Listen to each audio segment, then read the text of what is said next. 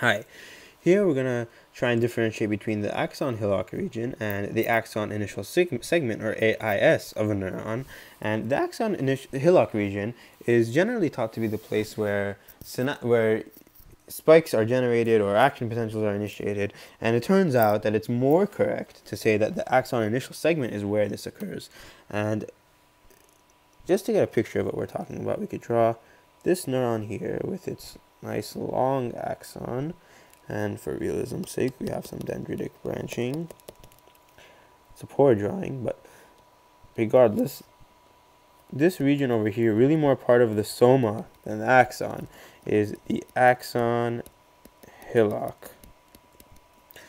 And this area is traditionally is traditionally taught to be the site where the synaptic inputs from the rest of the neuron summate so we can get an action potential. It's thought of as the place that has increased the excitability, so that summation will actually be will be actually be able to get the neuron above threshold and create an action potential that will generate that propagate down the axon and really in every direction, you know, outwards from this axon hillock.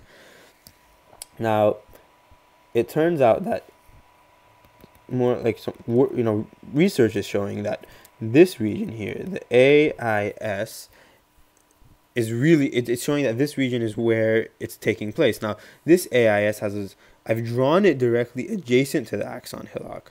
However, it's important to realize that just the same way that neurons are very morphologically variable, this AIS may also be variable. Each neuron does not necessarily have the same AIS. It's not the same size within different neurons, and it's not in the same place. So it could maybe be farther to the right closer to a myelinated region. It could be farther to the left, even closer to the axon hillock.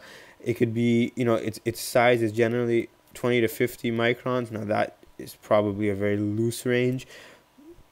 And the important thing to th- remember is that this AIS, what makes it special, is the, really the unique set of conductances embedded in this membrane here in this region. So we have a lot of voltage gated sodium channels, some potassium channels, some calcium channels, and even some consistently active channels that all work together to increase the excitability of this region and perhaps even bring it closer to threshold so that's easier to get an action potential. Now, it turns out, it turns out that this region is actually responsible for more than just the generation of the spikes. It could be responsible for the pattern of the spikes. It could be responsible for the the size of the spike. So the unique set of conductances here, you know, really may make a difference in how this neuron acts. And another special thing about the AIS is that because of different levels of neuronal activity, or it's, it, it, it can change, its size can change, its location can change. It is activity dependent in that manner, or in some neurons, it's shown to be activity dependent. And within different patterns, neuronal, you know, spiking patterns, they found that this region has maybe shifted farther to the left or farther to the right.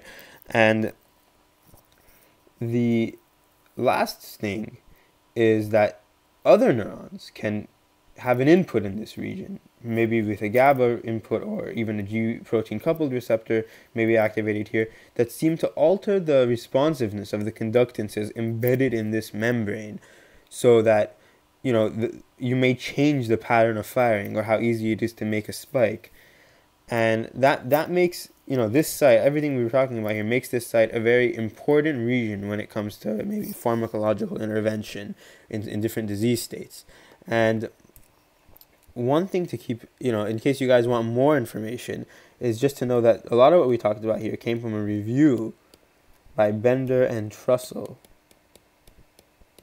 in 2012. So if you guys want more information, you could look there. But this was just a quick summary to try and differentiate between the axon hillock and the AIS. AIS. So you have to remember that this region, that this whole idea of where the spikes are generated, it, it's, a, it's a more complex idea than the way it's generally taught.